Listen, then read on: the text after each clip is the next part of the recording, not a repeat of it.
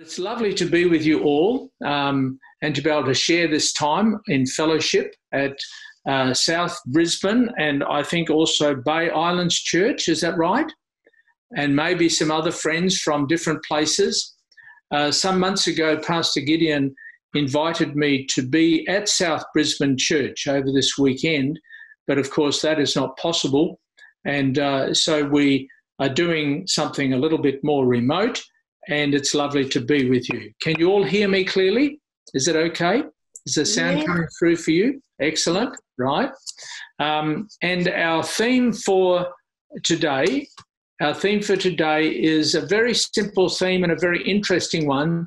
If you can eat, you can make disciples.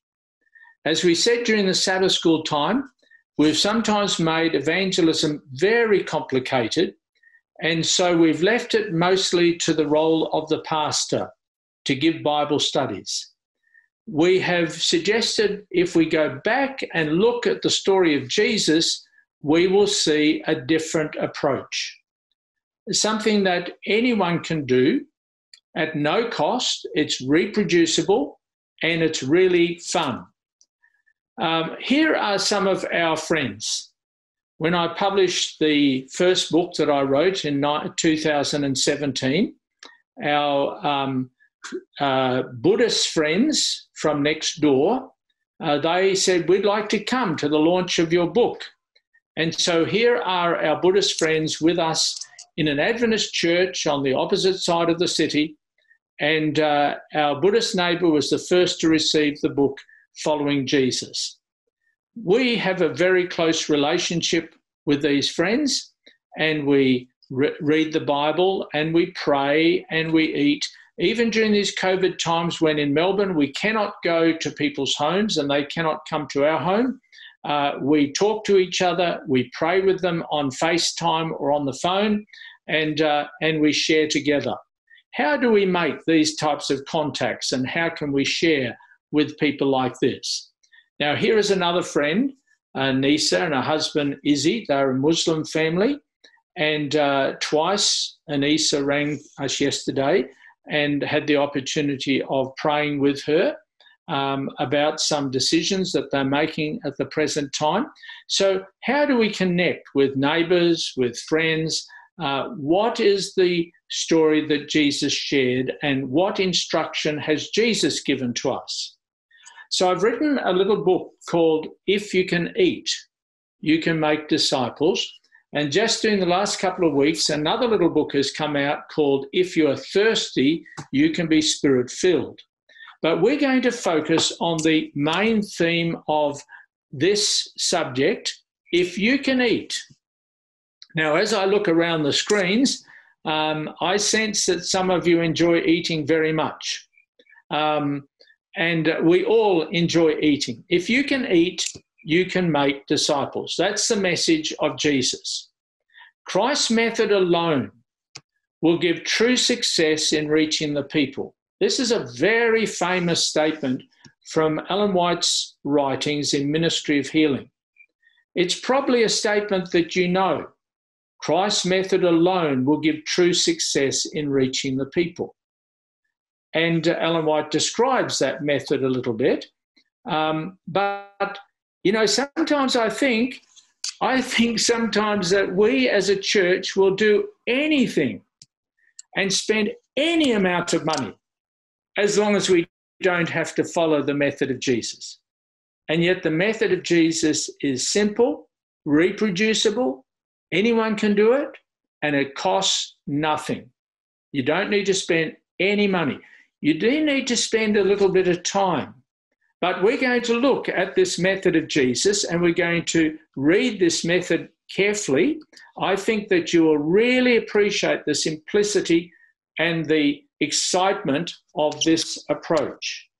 You can use it with your family, you can use it with neighbors, you can use it with work associates.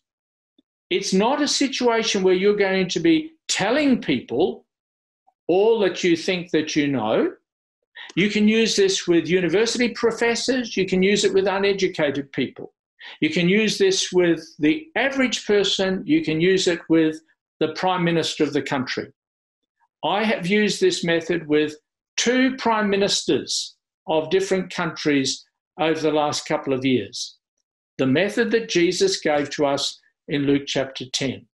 And I'm sure that when we've finished our worship time today, most of you will say, I can do that because it's very, very simple. Now, when we look at the life story of Jesus, we see Jesus um, actually modeling uh, making disciples. He came into this world to establish his Father's kingdom. And in making disciples, we are inviting people to become part of the kingdom of God. Where people grow in their discipleship, that means in their journey, their relationship with Jesus, and also where they grow in, in the very uh, great opportunity of sharing faith, which we have called evangelism, but that word has become a little bit specialist, or we can call it disciple making. That was the word, the term that Jesus actually used in the Great Commission. By his life, by his teaching, and by his commission, Jesus has shown us his method. We don't have time, but Jesus used only five invitations to make disciples. He said, Come and see, follow me, fish with me, sacrifice with me, and receive the Holy Spirit. Those were the five invitations that Jesus used in making disciples. But then we find him actually teaching the 12. Jesus called the 12 apostles two years into his ministry. Some people don't realize as they read the Gospels that Jesus did not preach the Sermon on the Mount at the beginning of his ministry. Jesus did not call the 12 at the beginning of his ministry. He called the 12 and preached the Sermon on the Mount two years into his ministry. Right? And then when he had 12, he trained them and he gave them training into how to grow spiritually and he gave them training into how to make disciples.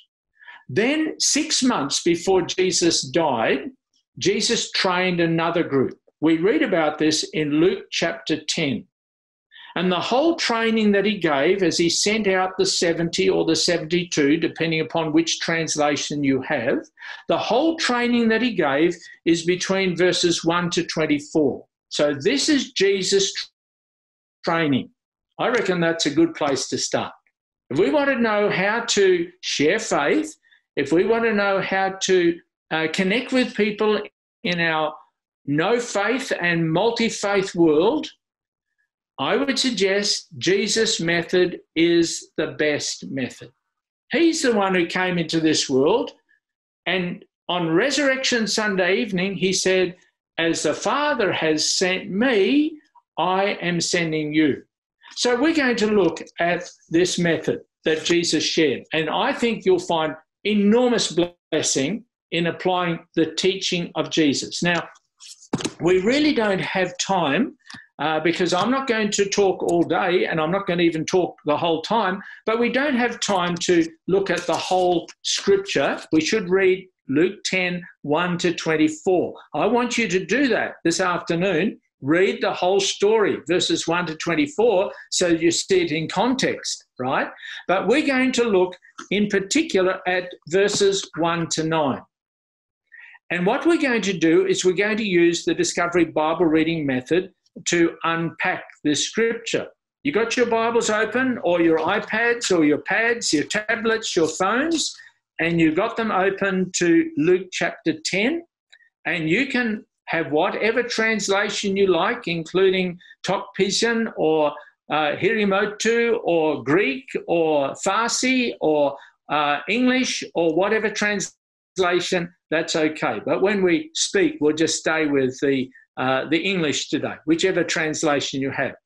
Now, in Discovery Bible reading, we read the story once, then we read it a second time, then someone tells the story, then we start discussing it, right? So, Luke chapter 10, and we're just going to start the first part of Jesus' teaching or training here, and we're going to look at this together. Luke chapter 10.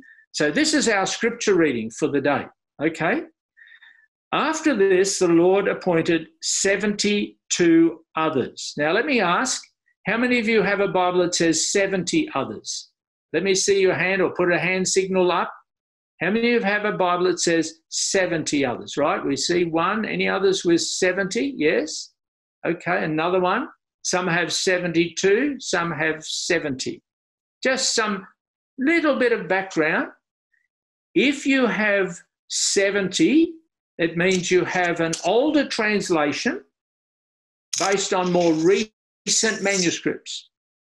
If your Bible says 72, you have a newer translation based on much, much older manuscripts. At the present time, I'm writing a little book, and Rhonda, this is, I've been to Porgera. I conducted a baptism in the river in Porgera and it's freezing cold, Rhonda. I tell you, they're out in those areas. Yes, yeah, correct. Um, it's very cold. very cold conducting a baptism in the river out there, right? Um, I'm writing a little book at the moment. I think it will be of interest to everybody, but it's about how the Bible was inspired, who chose the books of the Bible, um, and and how the manuscripts were preserved and given to us. I'm writing it in particular for people in Papua New Guinea, but I think it will be of interest to everybody, right? So if you have a Bible that says 70 others, it means it's an older translation, but the manuscripts that it's based on are much more recent, only a thousand years old. If you have 72, it's a newer translation based on manuscripts of the Bible from just after the time of Jesus, so a thousand years older than the other ones. But it doesn't change the meaning, does it? It doesn't change the meaning. And we can use different translations and it doesn't change the meaning. So let me read. And because we have some who have Bible translations that say 70 and some that say 72, I'm going to mix it up a bit. Okay? After this, the Lord appointed 70 others and sent them two by two ahead of him to every town and place where he was about to go. He told them, The harvest is plentiful, but the workers are few. Ask the Lord of the harvest, therefore, to send out workers into his harvest field. Go, I am sending you out like lambs among wolves. Do not take a purse or bag or sandals, and do not greet anyone on the road. Now remember, this is Jesus talking to us. Jesus is teaching us in this in this scripture. Okay. Then he says, when you enter a house, first say peace to this house. If a person of peace is there, your peace will rest on him. If not, it will return to you. Stay in that house, eating and drinking whatever they give you, for the worker deserves his wages. Do not move around from house to house. Again, I remember Jesus is teaching us when you enter a town and are welcomed, eat what is set before you, heal the sick who are there, and tell them the kingdom of God is near you now. Right now, that's the that's the scripture that we're reading today during our worship service, Luke 10, 1 to 9. Who else would like to read the scripture? Want another person to read it? Luke 10, 1 to 9.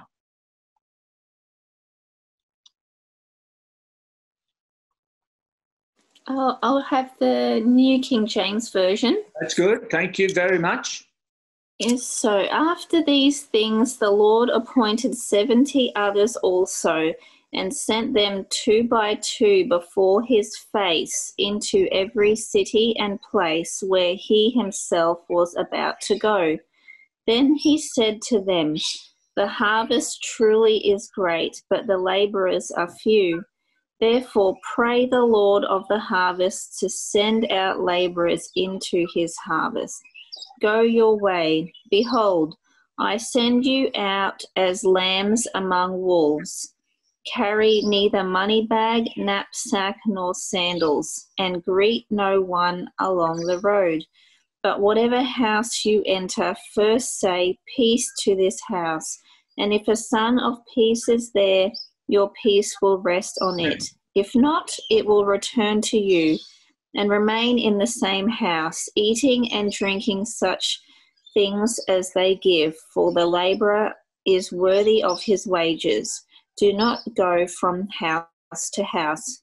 Whatever city you enter, and they receive you, eat such things as are set before you, and heal the sick there, and say to them, The kingdom of God has come near to you. Thank you. Thank you. Okay. Now, who would like to um, tell that story? Just say, This is what I remember from the story. Who would like to do that in a couple of sentences?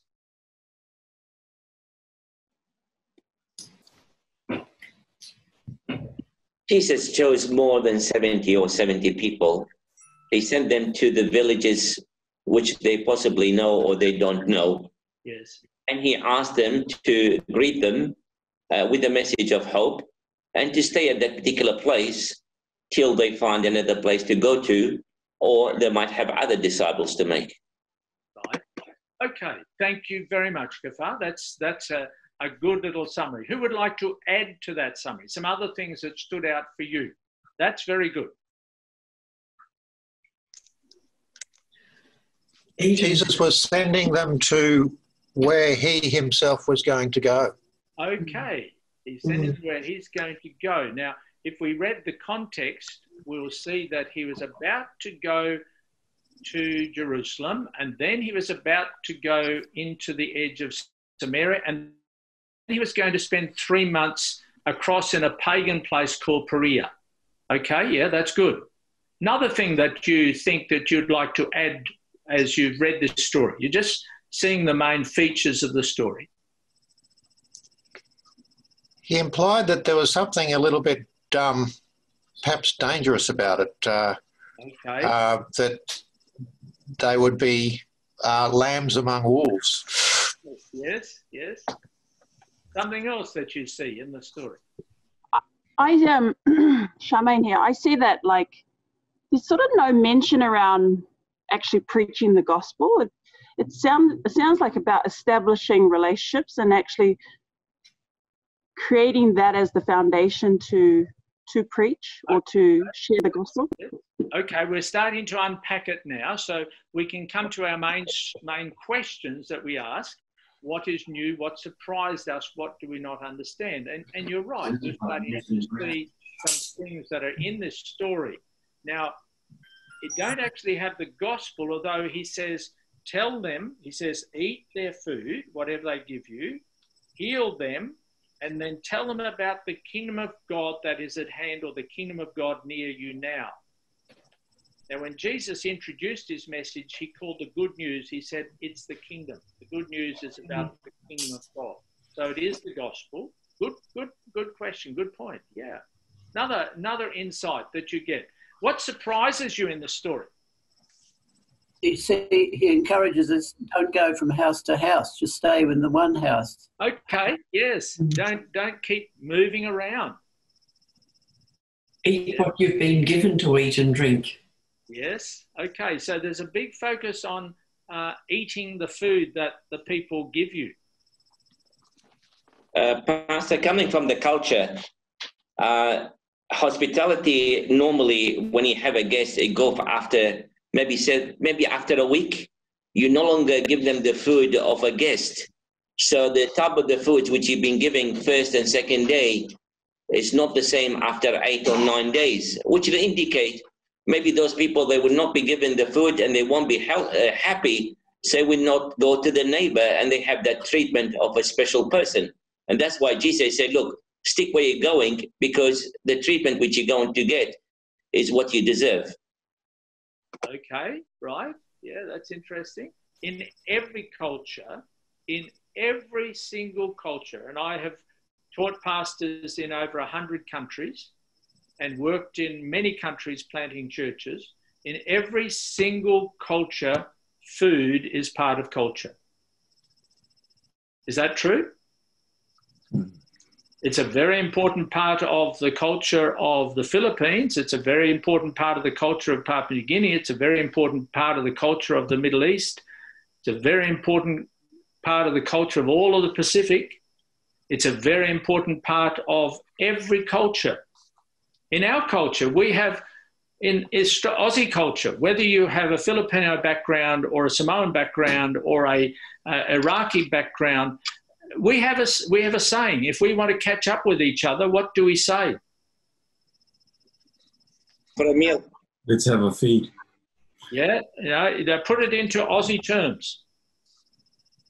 We say, "Shall we have a coffee?" We'll see you at Macca's.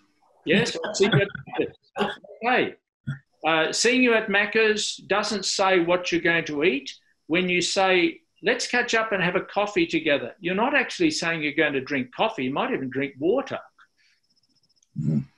But it's a it's a, a very important part of culture. It's a connecting point. It's a connecting uh, language that we use. And Jesus is is highlighting that. What else do you find in this story that is new or surprises you? One, you said don't move around from house to house. What else? Um, one thing that jumps out at me is, um, you know, with so much financial insecurity and um, uncertainty at the moment, it is a bit more of a concern for us about our financial well-being. Um, but you've noticed here, number four, it's like Jesus saying, you don't need to worry about a financial plan. Um, you don't need to have a, a, a belt or special investment plans. It's I've got you.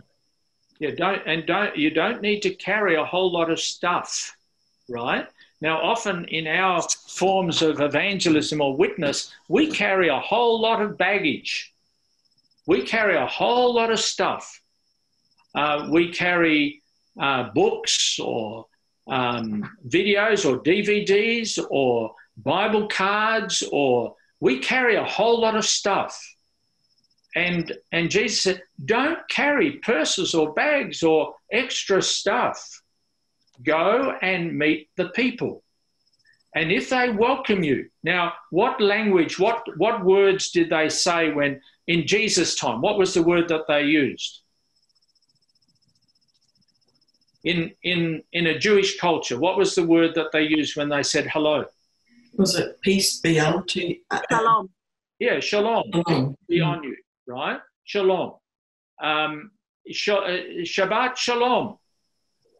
Uh, it, it did not mean happy Sabbath. Shabbat Shalom does not mean happy Sabbath. Peace. It means may God's grace and peace be upon you, even if you're not having a happy day. Right? Um, it's a far richer term. Do we have any Fijians with us? Uh, the term bula is a, a richer term than just hello or good day or how are you or good morning, right? Now, what is what is the term in Arabic? Uh, salam. Salam. Salam. And that's the same as the word shalom, right? It means peace or God's blessing upon you.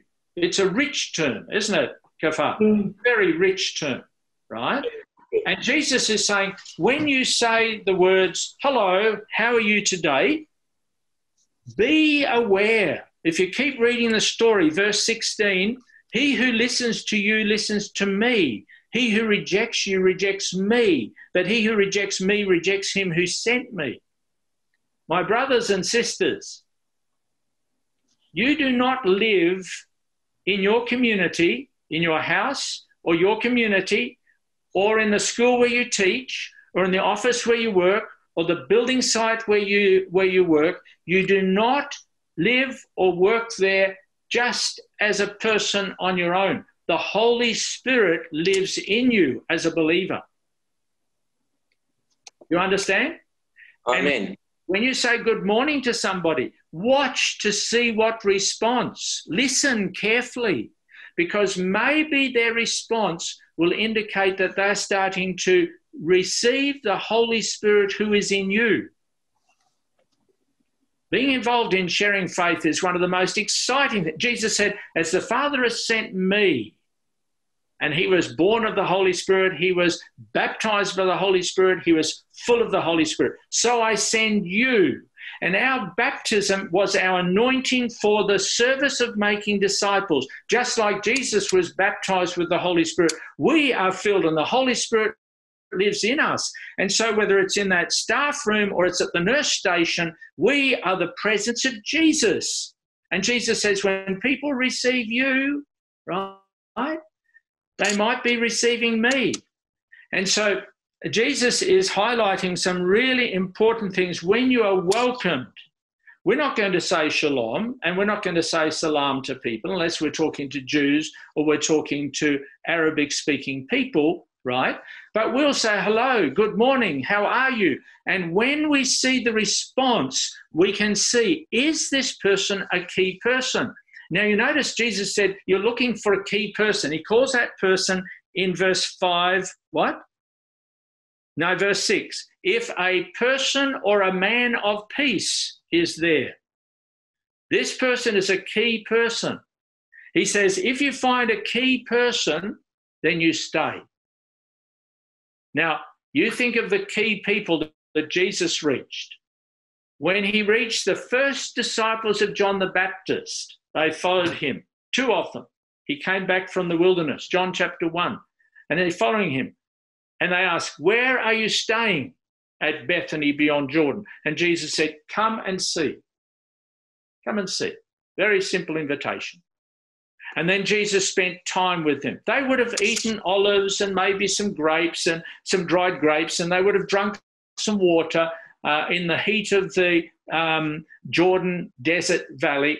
And, and Jesus and is talking with them. And when they leave, Andrew goes to find Peter, and Philip goes to find Nathaniel, and they say, Come and see, we have found the Messiah, the one that Moses and the prophets spoke about. Come and see. And the same with the woman at the well. There was a key person. Jesus had to go through Samaria, we read in John chapter 4. He goes through Samaria, sits at the well. His male disciples go into town to buy some food. He's not focused on that. A woman comes a broken woman. It doesn't say that she was a sinful woman, it says she was a broken woman. She'd been married five times. And Jesus talks to her. And when she said, Jesus, give me this water that you have so that I will never thirst, he says, Go and call your husband. So he's drinking some water, he's drinking her drink, He's eating her food, he's drinking. I have food to eat that you don't know of, he told his male disciples. It's not about how much food we're eating, rather, it's that hospitality, and he's connecting, and he's found a key person. And when she went back to the village, she brought the whole village to Jesus. That's why Jesus says, don't run around, look for that key person, right? That's what he's saying in this. Look for that key person and, and when you're looking for that key person, you keep in mind these simple steps. He says, eat. Eat. Now, I want you to look at these steps because this is really important. Um, let's, let's just summarize what we've seen so far in this little discussion that we've had. And uh, I want you to see uh, first thing, he put them into little teams. You notice that?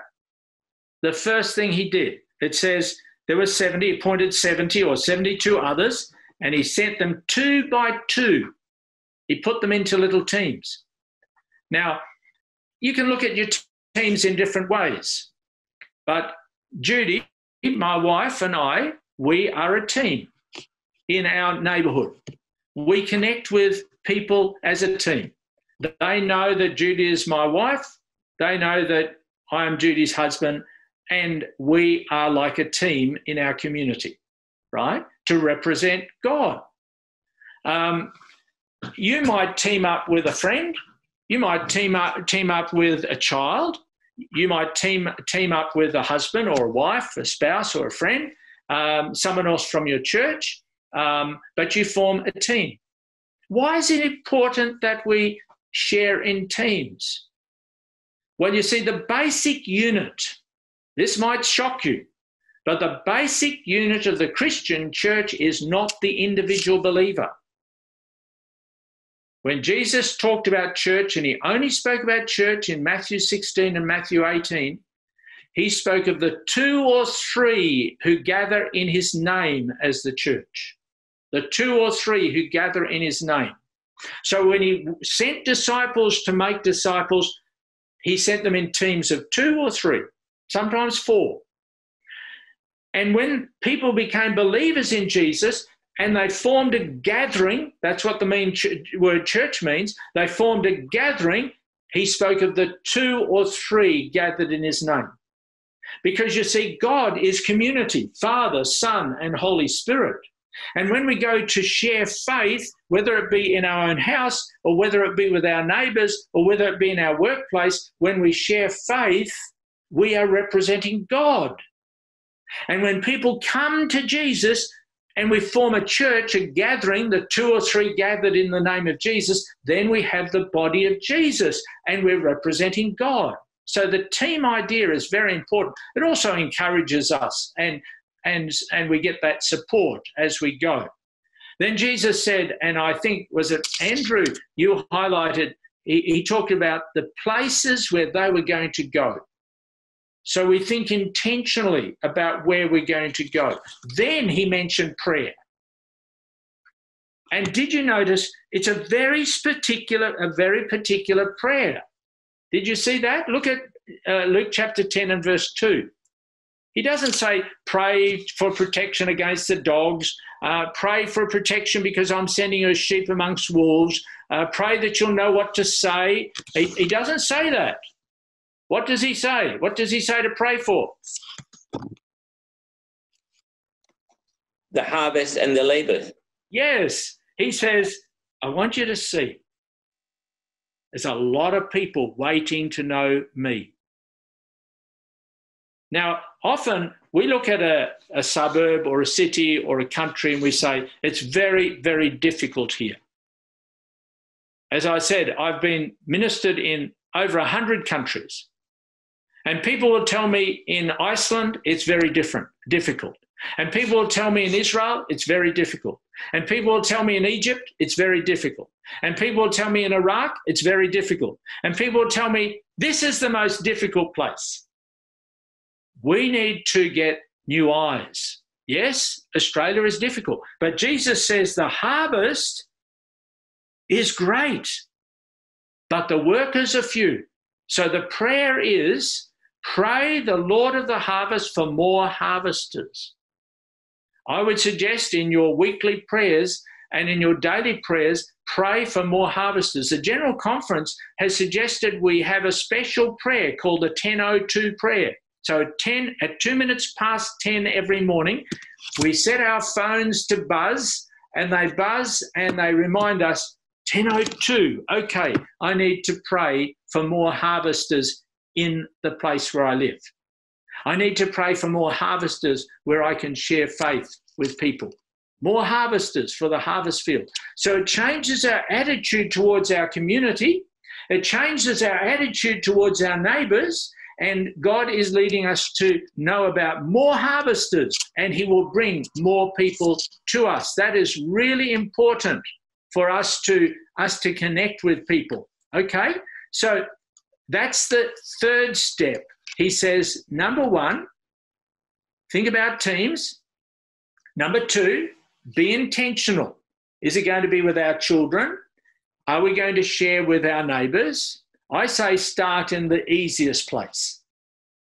You don't have to go down the street and start knocking on doors. Start where it's easiest. You know, every week I have many conferences like this with pastors and with churches around the world on Zoom. The other day I was having a meeting with about 25, 30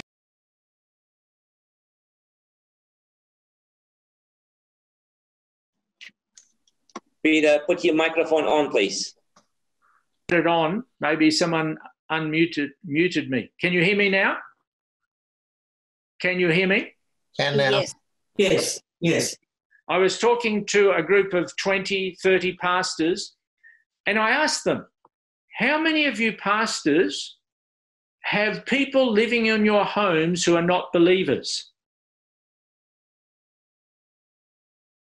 I ask you, how many of you as believers have people living in your homes who are not believers? Those pastors we counted there were at least 45 people living in their houses who were not believers. So why are we running down the street to knock on doors when we could share with the people who live right where we are? And since COVID has hit, we were all forced to go home and to do church at home. We were forced to go home, and what an opportunity to share faith with our families. Jesus said, Find key people. And then I want you to notice, he said, Number one, eat their food. Number two, heal them. Number three, share with them the kingdom of heaven is near to you now. Now, these are the three steps that go from, these are critically significant steps. These are the three steps that move from contact to actually sharing faith. Did you see those three steps? Have you memorized them? Verses 8 and 9. When you enter a town or enter a place or enter your home or enter your workplace and you're welcomed, eat. Eat their food. It doesn't say cook food for them, it says eat their food. Right? Number two, heal the sick. Now that tells me about step number one. Because if you're going to heal people, if you're going to meet their needs, you need to know what those needs are. So I suggest it's number one eat their food and listen. Now, I'm not sure about you, but my mother taught me put food in your mouth, and when you put the food in your mouth, shut your mouth. Did your mother teach you that? Put the food in your mouth, close your mouth. And when a neighbor or a friend gives you a biscuit, piece of banana, piece of bread, hot drink, drink of water, as you go to put that in your mouth, you say, Tell me, tell me about life. How is it for you? Now, friends, you already know them. They're going to be telling you a lot of stories. Listen. Listen. Put something in your mouth and listen. Eat their food and listen. And as you listen, you will hear you will hear the stories that they have to share. And as they share the stories, you'll hear what their need is. And that's where you know what to encourage them about. That's healing. You will know what to give them some advice about. That's healing. You will know what to pray with them about. That is healing. The sickness might be a mental, social, physical, um, relational, um, spiritual, any of those that people need healing for. And so never be afraid to say, I could pray for you. And that's where we share our story in about one minute, two minutes. I was brought up in a Christian home because there was no school and there was no money there, I had to leave home when I was 15. I never lived at home again after I was 15. I worked, got my way through school. And when I was 16, I had to make the decision am I going to follow the God that my parents had taught me about? And I decided to follow him. And you know what I've learned? You know what I've learned, Kafar? God is with me through the good times and the bad times. I'm into that. And he's interested in you too. That's my story. That's my testimony. And that's now a bridge because you can trust the God that I believe in. So eat their food, listen, they tell you their problems, heal them. I could pray for you, pray for them, tell them your story, introduce God's story. Number three. So you move from that general discussion, the visit, meeting needs, you move just simply into the next area of sharing faith. You notice these three steps again eat their food and listen to their story. Heal them and share your story. Then share the kingdom of God is near, God is interested in you. And so we move, we move to where we can introduce the story of Jesus very simply. And this is where we share Discovery Bible read. Would you like to read? Would you like to read about Jesus? Would you like to know a little bit more about him? I give to you a copy of the Gospel of Mark, or you can download it onto your phone. We usually start with the Gospel of Mark because it's the simplest gospel. It introduces the story of Jesus. Now, most of our friends, most of our neighbors, most of the people we mix with don't know any stories of Jesus. Is that true? Most do not know any stories about Jesus, and they don't know where to start. I was at a church before COVID, preached at a church in Melbourne. During the fellowship lunch, uh, they said, Could you come and talk to these three young ladies? They've been coming to church now for a few weeks, and they're reading the Bible because they want to know about Jesus. So went and sat with them. Three young ladies attending an Adventist church. They wanted to learn about Jesus. And they said, We've been reading the Bible because someone said we could read the Bible and learn about Jesus. But they said, We haven't found anything in the Bible about Jesus. I said, Where did you start? They said, We started at the beginning. So we started Genesis. I said, Where are you up to? They said, We got to Deuteronomy or something like that. I said, Wow, you need a medal. You need a certificate to get that far. Genesis, Exodus, Leviticus, Numbers, Deuteronomy. They're trying to read about Jesus. They haven't found anything about Jesus yet. I said to them, You've got another 800 pages to go before you'll read anything about Jesus. Now, are those books of the Bible valuable and good? Yes. Genesis, Exodus, Leviticus, Numbers. But if you want people to know about Jesus, guide them to read one of the Gospels. And the Gospel of Mark is a great place to start. That's why the division has printed half a million of these free for all church members to give to their neighbours and friends and to introduce them to Jesus so they can read the stories of Jesus in Mark and John and the book of Acts. Right? You should be getting these. They've been shipped out through the Australian Union. There is a box full at least for every pastor. And so, Pastor Gideon, make sure you get your quota and give them to people so they can share them with friends and introduce people to reading the story of Jesus. Many people don't know anything about Jesus. They do not know when he lived. They do not know that he died. They do not know that he rose from the grave. They know nothing about Jesus. So that's why we go eat their food, listen, listen, listen, and then we heal them. And so we say to our Muslim friends, we say to our Buddhist friends, we say to our Sikh friends, we say to our atheist friends who we meet in their homes when they invite us to sit and have a coffee. We don't drink coffee. We can drink water. We can drink whatever. You don't have to eat everything on the table. You choose a little and you cho- you don't make a fuss about it. You just choose what you can eat. Judy is gluten intolerant. We don't say to people, "Oh, Judy is gluten intolerant." We just go to the home, and then she chooses from the table one or two things that she can eat, and we listen and listen, and then we say, "Now we could pray for you. Would you like us to pray for you?"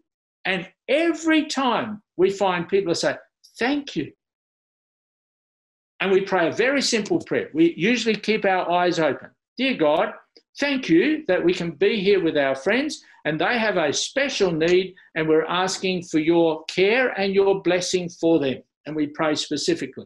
Only very short in normal language so that people can experience God. This is so important. And then we can introduce Discovery Bible reading and the idea of reading through the Gospel of Mark. Would you like to do that? We just do it together. So you're not coming as the expert and you're going to give them all the teaching. You're just going to share with them simply. So let me share with you a story. This is a cross cultural story. Those of you from Papua New Guinea will love this. We're in Port Moresby. But you will see the principles of how this idea, this simple idea, can be used anywhere. Okay, let's look at this story.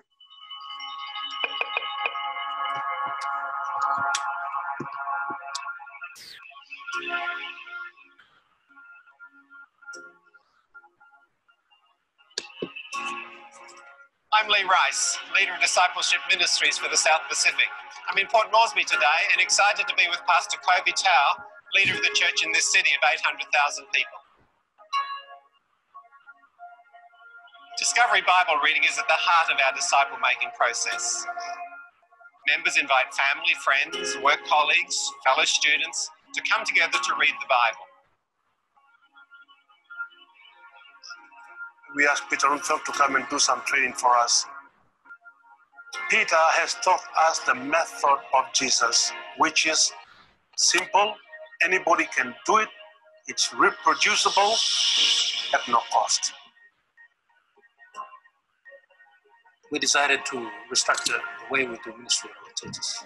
And we follow the model in the book of Acts, uh, the New Testament church group we turn our Sabbath school classes into discovery Bible reading groups. We've restructured our church Sabbath school classes according to place where the members are living. We bring the church to the houses and the houses becomes church. My name is Nathan. I got excited uh, seeing the method in which we can share God's word to others. And I heard of that idea and decided that I had to bring that idea to my home. Now this is where we meet every Sabbath.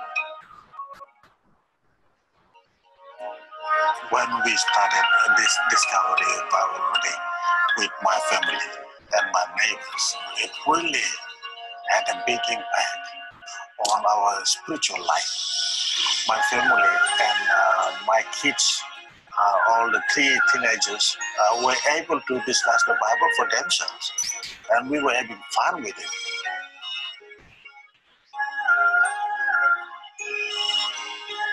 Starting with the Gospel of Mark, read one story at a time, commencing with the prayer, obviously.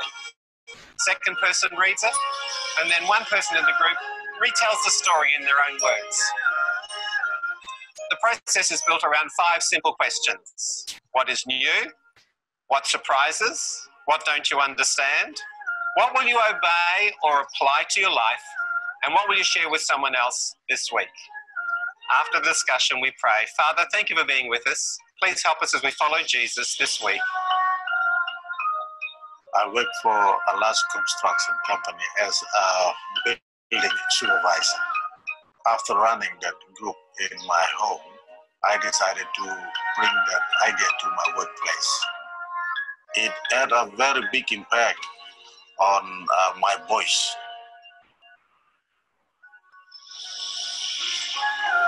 I know an old blind man called Benike. I found out he lived in a makeshift sort of house. I had this idea of building a house. I went and discussed that with my boys they got excited and they voluntarily uh, put their hand up to help me. I believe Jesus, my Savior. I trust in Him. One day He return, I go with Him. Every Sabbath there is two, three baptism in each churches.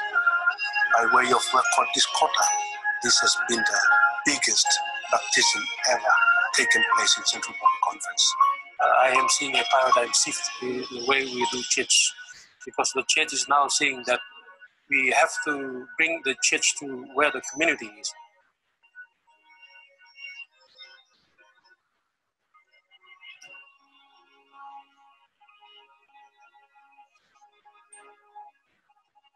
God uses ordinary people to carry out his extraordinary plan.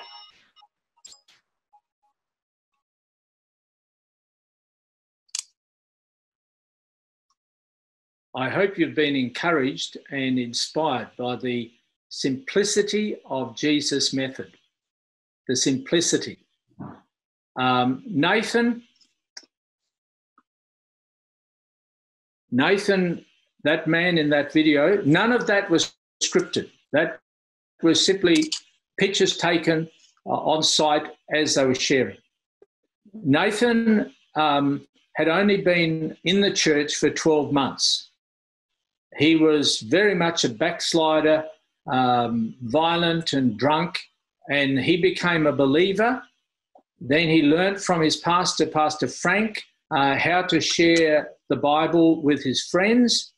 Uh, the leading elder became his coach, um, and Nathan started sharing with his family, with his neighbors, and the people just started to come into that environment. Then he took it to his workplace, not during work time. He does that every morning of the week, Monday to Friday, for 15 minutes before work starts. And he shared Discovery Bible reading there. Uh, this is a very simple journey. Jesus said, Eat. Eat, listen, listen. Don't come with your agenda. Don't come with your message. Don't come with what you're going to tell people. Eat and listen. Heal their brokenness. Give them encouragement. Sometimes you'll need to encourage them to go and see their doctor, um, but you encourage and you pray with them. Simple prayer directly about their needs. And through that, you introduce God's story. God cares about you. Would you like to know a little more about Jesus? The best way to know about Jesus is to read a couple of the books that were written just after Jesus' time by people who followed him. This is a book that is 2,000 years old from the time of Jesus, just 20 pages, 21 pages long. And we could read it using Discovery Bible Reading, and you'll come to know Jesus. And as you read that story with people, the story of Jesus will convict, and people will understand the gospel and the kingdom of God. And you go on through the gospel of John. We don't have time to describe it all. Go through the gospel of John. All the fundamental teachings of the Adventist church, except one, are found in the gospel of John. Only the story of the 1,000 years or the millennium that's the only doctrine you don't find in the Gospel of John. All the other doctrines are there, some in full form, some in a summary form. So that's why we put Mark and John into this little binding. And the book of Acts helps people understand how to gather new groups of faith and to share faith with each other. It's been a rich experience to be with you. But I want to challenge you don't leave church today simply saying, well, that was interesting. Have you decided where you're going to start? Have you decided where you're going to start? Otherwise, I've wasted my time and you've wasted your time. It's also a question of where will you start? With your children? With your spouse? With a partner? with a neighbor, with a work colleague. God has placed you as a believer in your community. Jesus said, As the Father has sent me, I am sending you. The Holy Spirit, your baptism was not just in water, your baptism was your ordination. It was your ordination. The only ordination spoken of in the New Testament was your baptism. Your baptism was your ordination for disciple making, your ordination to your ministry of disciple making. I challenge you, think, where will I start? So you may want to spend some time talking as a community of believers uh, in your Zoom chat about where you might start. And, and then it's simple. Anyone can do it. You don't have to know anything. You just start reading the Bible with a friend using those five questions. And if someone asks a question you don't have an answer to, you say, I don't know. Let's keep reading. Simple. I don't know. Let's keep reading. And you grow together. The Holy Spirit will lead you. Pastor Gideon, great pleasure to be with you for this Sabbath. And, and I hand over to you and to Kafar and to uh, your leaders to bring this time of worship to a close. Um, yeah, I just want to offer a word of thank you, um, Peter. I know that your schedule and your responsibilities would mean that um, you've got a lot of different things on your plate that you're juggling. Um, but we do really thank you for giving your time to share with us the word this this morning. Um, and I, I, believe that this is meat in season. Uh, I believe that the Spirit's given you a message, and it's a message that uh, many of our um, our members are ready to run with. Um, right. I really believe that the Holy Spirit has been preparing hearts, um, and and the paradigm is changing, and times are changing as well, and we really need to see what we can do, uh, or see what the Spirit can do through us uh, to reach those that are in the community. Um, so we do really thank you. Um, thank you for sharing. Uh, you'll have to sh- thank your wife as well. I think the initial plan was for you to fly up, and then you were going to come with your wife as well, and it was going to be a nice weekend. And you might have even gotten to see some goldy, golden um, uh, coast, Gold Coast. Uh, but that's all changed. But we do still thank you that you've been able to pass that on, and, and I think I, I share this message on behalf of the whole church, thank Peter, and, and we, we pray that um, God will bless your ministry abundantly um, and continue to do that. And we, I just want to prom- I just want to put out there as well to our members that I'm going to be looking at some of those resources. Um, and if anyone is really keen to get those straight away, then I'll get onto that um, ASAP and be able to hopefully resource all of you um, in your own sphere. Yes. Um, there has been some good news stories. Like I can probably say, we've got Sam on board here. We've got Jan and Eloise, um, Kafar, Maureen, um, Ruth, these are some of the ones who God's opened the opportunity for them to share as well. So I just want to encourage all of those people that I mentioned and others that God can use anyone. That's right. Um, so yeah, thank you for making it simple and really powerful stuff, Peter. Um, so I think. Yeah, I just uh, say Yeah. Uh, Pastor Peter, I, we already start receiving some uh, messages your time and our time has not been wasted. So praise, praise the Lord that you have already have a few disciples willing to follow what you ask. Right. God bless you. God bless yeah, you. wonderful message. Mm. Simple and practical. Yes. Yes. Mm. Thank you. Great to see you, Kathy. Yeah. Would you like to say prayer, closing prayer, Peter? Yes. Our gracious God, we thank you for the opportunity that we've had to share together this Sabbath day we thank you, Jesus, that we can look to you for salvation. And we thank you that you've given to us the privilege of inviting others to you. Thank you for the simplicity of your method, your approach.